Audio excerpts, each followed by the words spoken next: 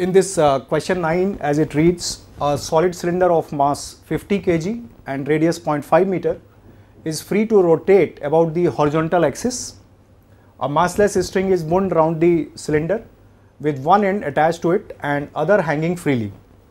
Tension in the string required to produce an angular acceleration of 2 revolution per second square.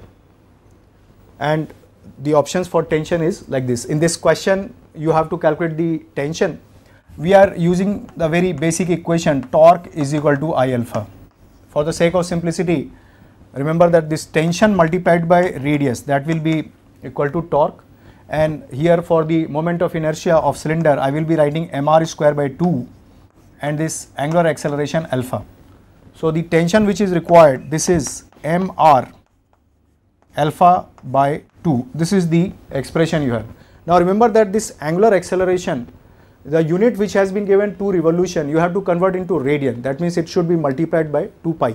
Now here the mass has been given 50 kg this radius is given to be 0.5 meter and for alpha don't write 2 rather write 4 pi that might be a kind of mistake you might have done. So the overall tension value which you will calculate this will come out to be 157 Newton and for that matter the correct option will be the fourth one. So that is the answer to this question number 9.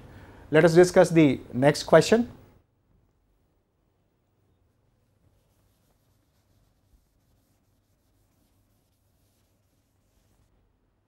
Now in this uh, question 10 as it uh, reads the ratio of the accelerations for a solid sphere mass m and radius r has been given rolling down an incline of angle theta without slipping and slipping down the incline without rolling is you have to the options which have been given to you they are 5 is to 7 2 is to 3 2 is to 5 and 7 is to 5 now you see in this question you have to find out the ratio of the acceleration. In first case, without slipping that means it is rolling down.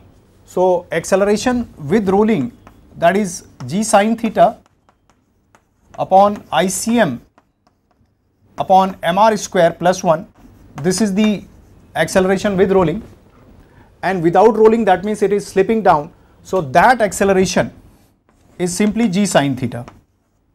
So, all you have to do you have to just calculate the ratio of these two you understand and ultimately this ICM that will be 2 by 5 mr square. So if you substitute the entire thing you will find this ratio that is coming out to be 5 is to 7. So the correct option for this particular question will be the first one you understand. Now let us discuss the next question.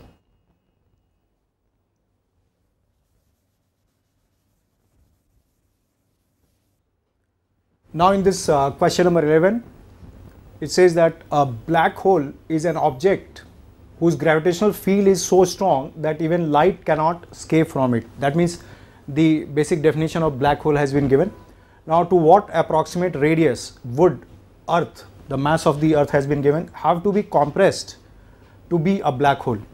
You see the basic idea of this question is that the escape speed which you see as under root 2 gm by r the escape speed if it is equal to c that is speed of light then this is the critical situation this will give you the critical value of radius of the earth to become the black hole now if the radius is further lesser then it is a better situation. It is confirmed black hole. So all in this question you are expected to do you have to just solve this equation. Here g is universal gravitational constant that is 6.67 into 10 to power minus 11 m has been given to you approximately 6 into 10 to power 24 you are not expected to solve this expression exactly. Rather it's only the order of the radius which you have to calculate that you can calculate from this place. Or c is nothing but speed of light that is 3 into 10 to power 8 if you substitute everything so your correct answer will come out to be approximately 10 to the power minus 2 meter that means you can say almost the size of a grape if the earth becomes the size of a grape then it will become a black hole. So that was the answer to question number 11. Now let us discuss uh, question number 12.